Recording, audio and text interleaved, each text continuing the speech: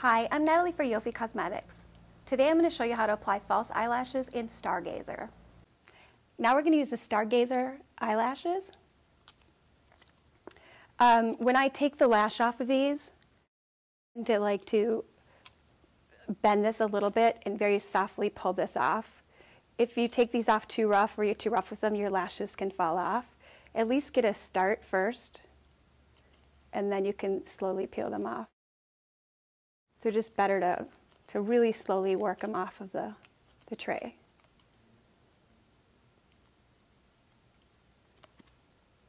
And when I work with lash glue, there's different ways that you can put on the glue.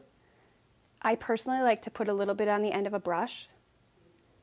Because if you're using just the tube with the lashes, you may squeeze out too much and then, you, then it gets all over the lashes or could wreck them. This way you have just a little bit of product to work with.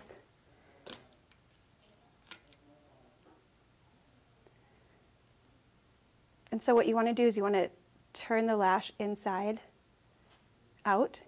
Just take a little bit of the glue and put it on the inside of the lash.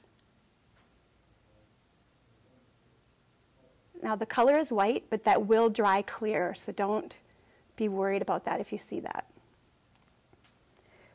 Another important thing is that you have to wait about 30 seconds or for the lash glue to get tacky.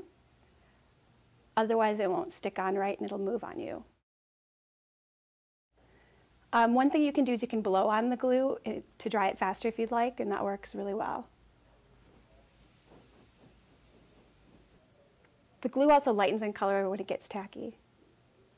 Okay, so the best thing to do for yourself or your model is to look down.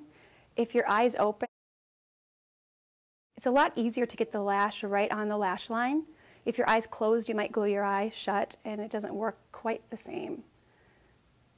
So I like to take it with both one hand on each side, just place it right on the lash line.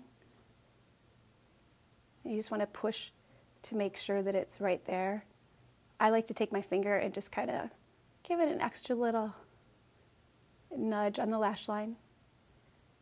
Look at me. Sometimes they get, they're off just a little bit. You can, right before they dry, you can take them and move them if you need to. You can also have your, your model close once it's there. If they are an eye water, just to kind of get them push a little harder because some people are a little bit more sensitive in the eyes. Open. I like to make sure these corners are really adhered. Next thing I do is I push up on the lash just to kind of give it a little bit of a curl.